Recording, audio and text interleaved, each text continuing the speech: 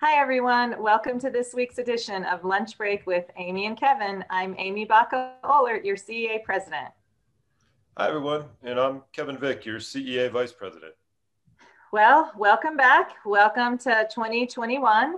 Um, we hope that everyone had a very wonderful holiday season, a restful, hopefully relaxing winter break where you were able to disconnect really give yourself some time to just uh, to just be. We know that we're coming off of one of the most stressful challenging falls that most of us will ever hopefully experience in our professional career. So hopefully you had a good break.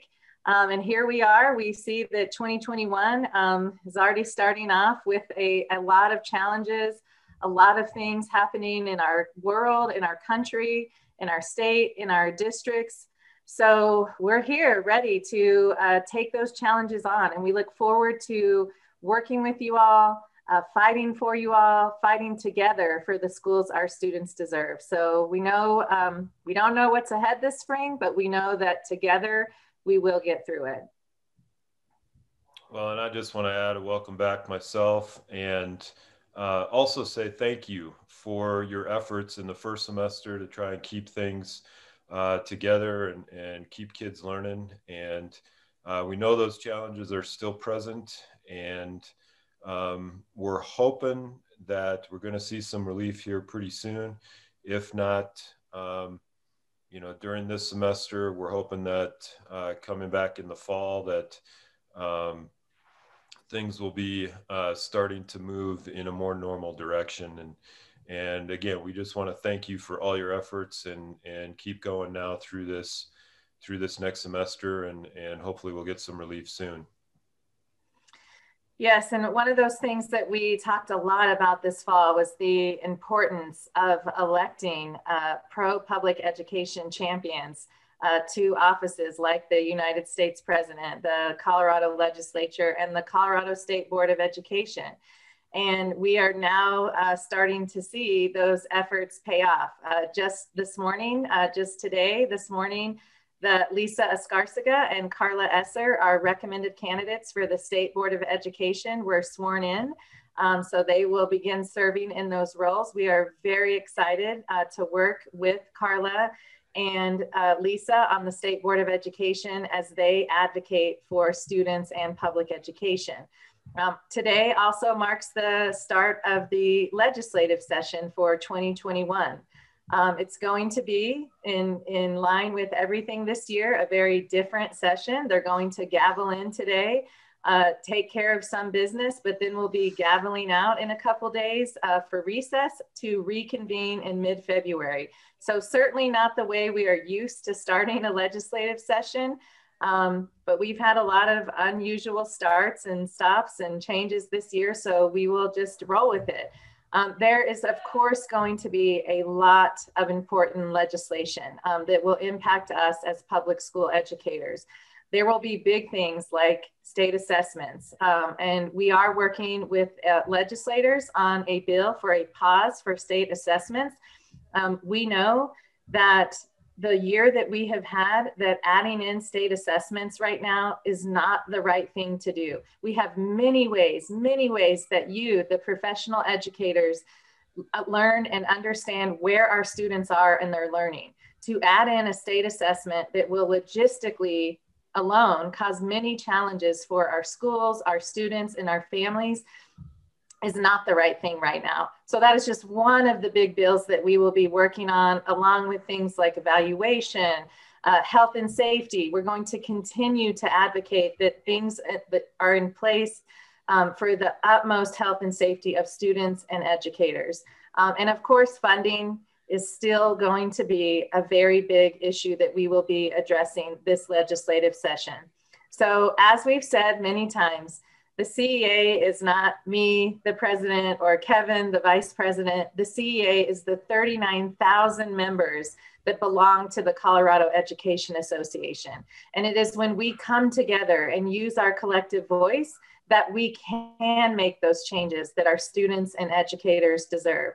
So we're going to be calling on you this legislative session to engage, to tell your story. You are the professional. No one knows better than you what's happening in our public schools, what experiences our students are facing, what experiences our educators are facing. So we will need you to share your voice. Uh, so pay attention to social media. We'll have lots of opportunities for you to engage.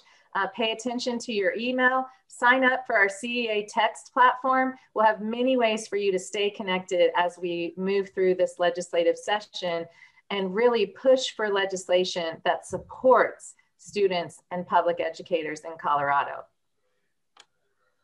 So the other big news that obviously I believe is important to educators is uh, news around the vaccine distribution uh, for the state of Colorado. And um, first of all, let me say it's through your efforts and through the efforts of CEA that uh, educators got moved into uh, the 1B level of vaccine distribution, which puts uh, educators uh, pretty close to the front of the line now, uh, which will be uh, hopefully impactful yet this spring semester. Um, and also, what we're keeping a very close eye on is the federal government's policies around vaccine distribution overall.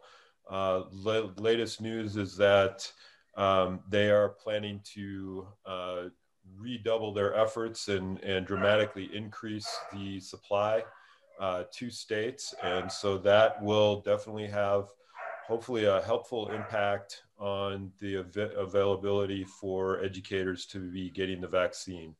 Um, again, stay tuned and um, we will put out as much information as soon as we can when we get it about uh, eligibility and uh, the latest on the vaccine distribution.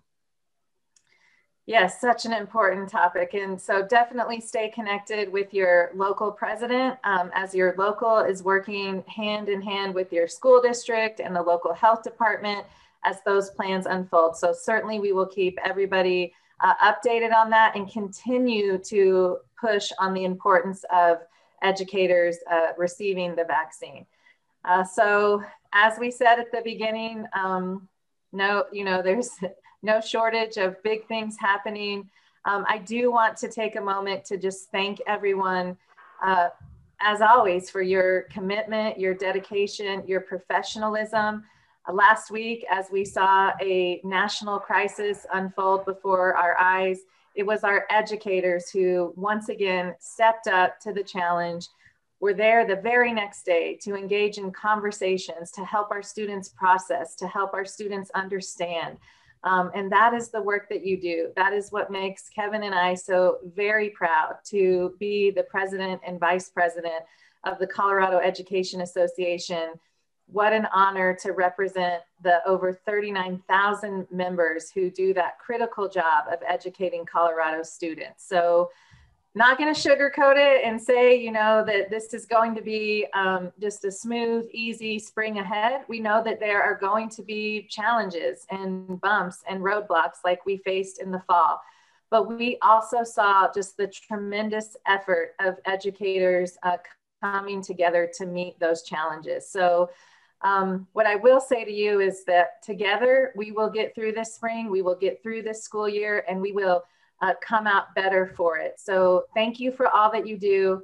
Uh, we will continue to fight for the schools our students and educators deserve, and we look forward to uh, being in that fight together this spring. So take care, have a great week, and we will see you in a couple weeks. Bye, everyone. Stay safe and stay strong.